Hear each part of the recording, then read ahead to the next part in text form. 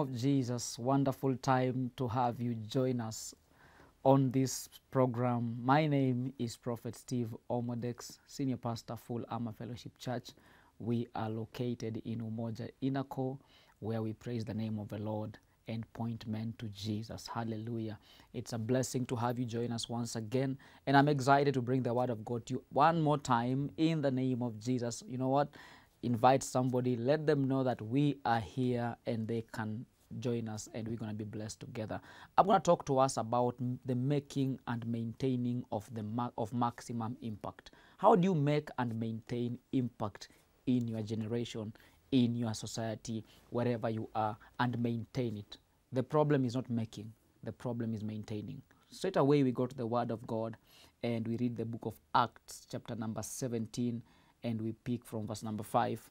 We go down to 9. The Bible says, But the Jews which had not believed, moved with envy, took unto them certain lewd fellows of the baser sort, and gathered a company, and set all the city on an uproar, and assaulted the house of Jason, and sought to bring them out to the people.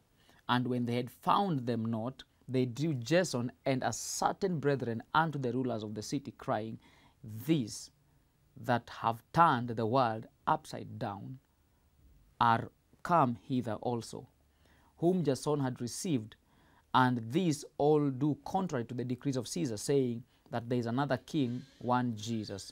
And they troubled the people and the rulers of the city when they heard these things. And when they had taken security of Jason and the other, they let them go. Praise be unto the name of the Lord. I want you to understand, child of God, that men are in sizes, but life is in levels. You see, no matter how good you are, someone must always be better than you. The earlier you understand this statement, the better, because you need to understand that grace is dispensed in men. Men are carriers of grace. Paul says that that a, a, um, a, a increase also in this grace, which also I am in. And so it is important for us to understand that impact is something that is very important. You are not on this earth as a statistics. You're not on earth just to add to the number of people on earth, but you are on earth to make an impact in your area of influence.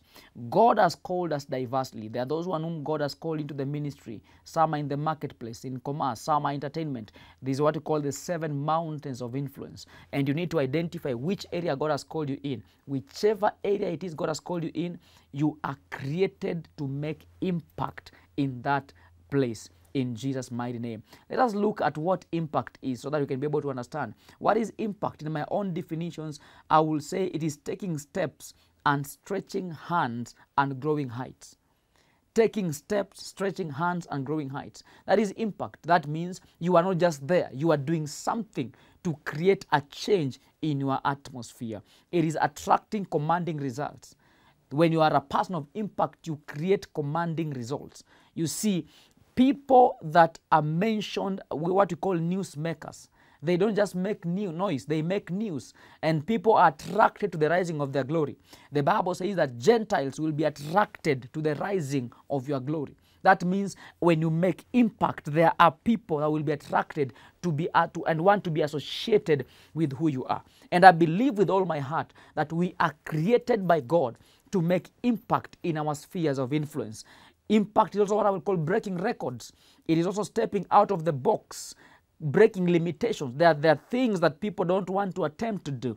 God has given you divine abilities, ideas on how you can be able to break the limitations and do those things. Maybe you come from a home where nobody has ever done something unique beyond a certain level. You are anointed by God. Listen to me, child of God. You are anointed by God to break those limits and go beyond where people in your family have ever gone. It's also living a life of profitability and relevance.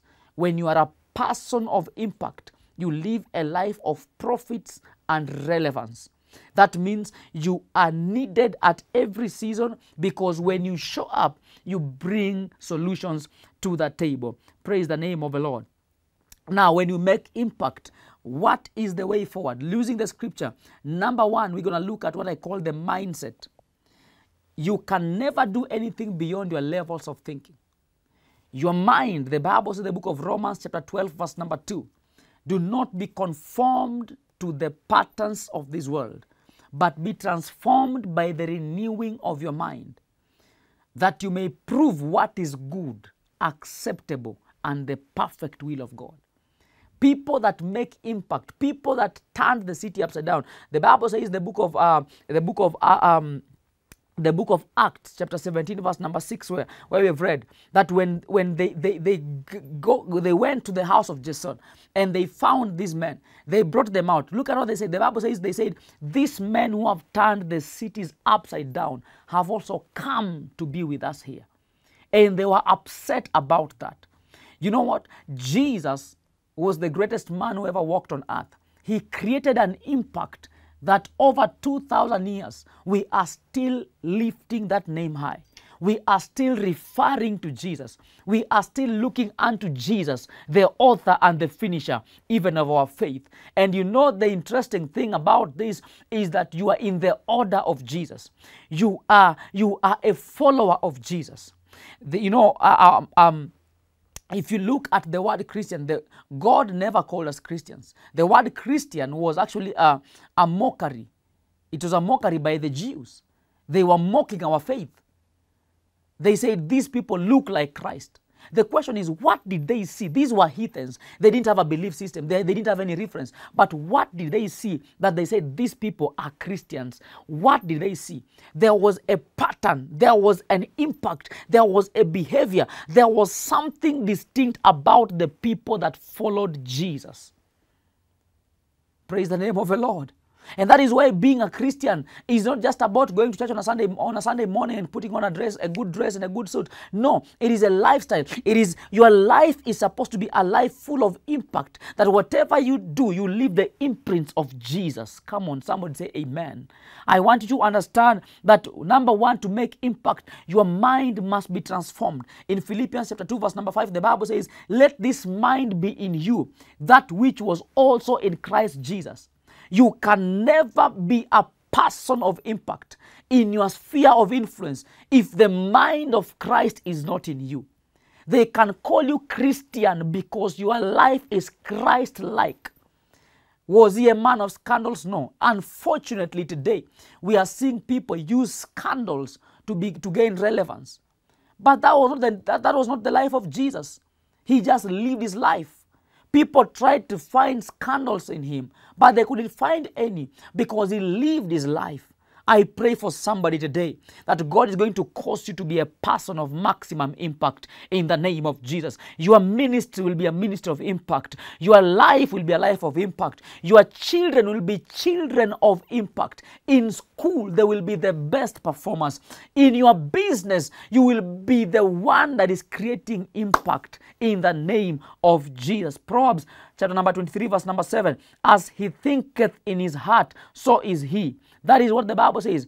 That is what the Bible says. As a man thinketh in his heart, so he is. Hallelujah. So you need to understand God has called us to be people of impact. Number two, if you're going to make impact and maintain impact, you must be a person of diligence. What is diligence? It is careful and persistent work or effort. You are diligent in what you're doing. The Bible says in the book of, I believe, Proverbs chapter 22, verse number 29, 22, 29, yes. The Bible says, have you seen a man that is diligent in his business? A man that is diligent in his work? If you see such a man, he will stand before great men.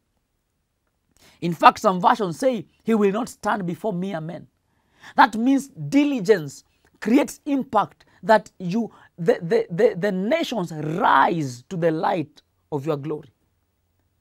Men and women attend to you, they look for you, they demand your presence because you are a diligent person. I pray for you today. May God cause you to be diligent in what you're doing. Stop comparing yourself to people. Begin to look at the blueprint God has given you and let your, your, your, your competition be your own self. Because sometimes people run out of God because they start to veer off and begin to compare themselves with other people. Listen, your blueprint is different from another person. The only thing you need to do is to fulfill the assignment that God has set before you. The Bible says, I have set before you a race. run in such a manner that you obtain the prize. Paul tells us, run in a manner that you obtain the prize. Men of diligence seek the Lord and they find him. When you find God, you find everything. Diligent people don't give up easily. Diligent people never settle for less. Diligent people their, their focus is on maximum impact. Praise the name of the Lord. Number three, how do you make impact and maintain it? You have to be bold. The Bible says that, Have I not commanded in the book of Joshua, have I not commanded you to be bold and courageous? That you will face giants, but be bold and courageous. Be bold and courageous. Oh, child of God, I want to tell you this day be bold and courageous. In this world, you will face people that will intimidate you, but be bold and courageous. God has not made you to be timid, God has given you the spirit of boldness, the spirit of boldness. You have to be bold and courageous. Uh, Proverbs chapter 28, verse number 1 says, the, the wicked flee when no man pursues them, but the righteous are as bold as a lion. I want to pray for you this day that may God cause you to be bold as a lion. Until you have a lion's heart, you cannot have the lion's share.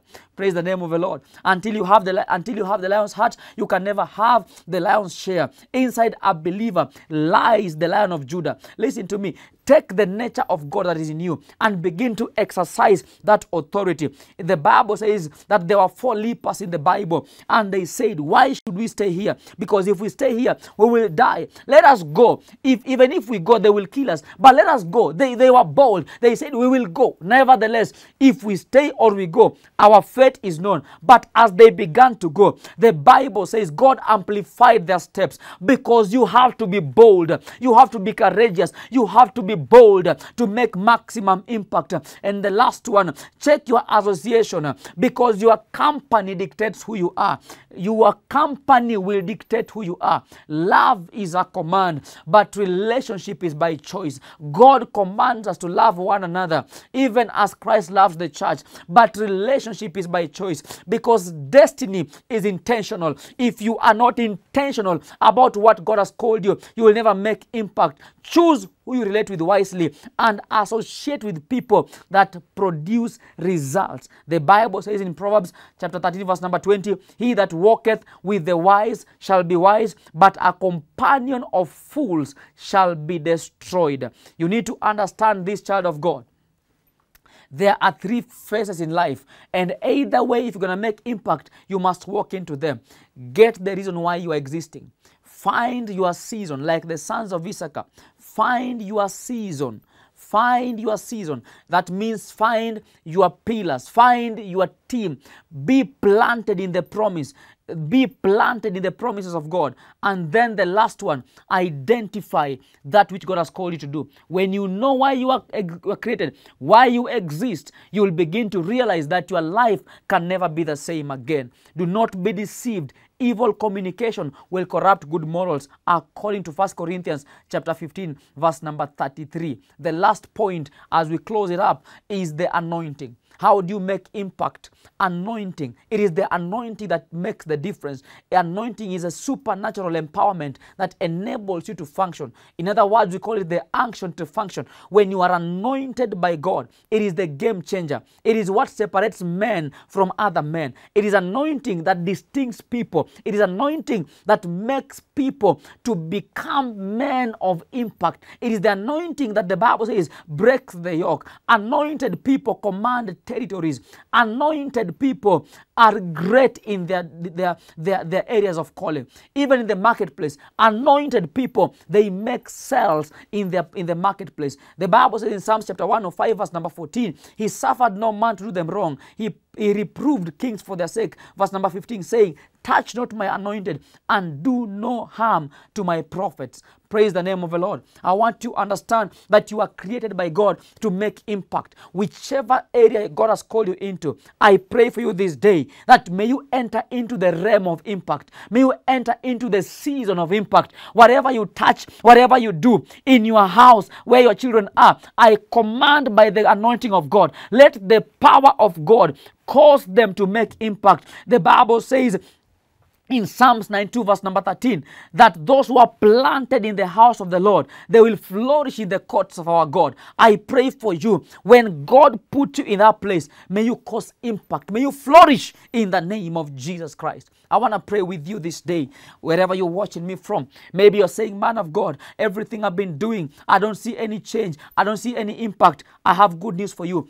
God is causing you to cause that impact. Now I'm praying with you in the name of Jesus. Father, I pray, let the grace, the glory, the anointing for impact rest upon your child right now. Whatever they lay their hands to do, you have told us you will bless the work of our hands. I pray for the work of their hands. I pray for their families. I pray for their children. I pray for their jobs. King of glory, may they encounter you in a manner like never before. And I pray for that brother and sister who is giving their life to you. Father, may you lead them to a church where they will receive you as Lord and Savior, where they will be taught that Jesus is the only way, not other ways, but Jesus the only way to the Father. I pray today in Jesus' name. And somebody say, Amen. God bless you and thank you for joining me. My name is Prophet Steve. I'm looking forward to you again um, tomorrow, same time on this program by the grace of God. Shalom, shalom. See you then.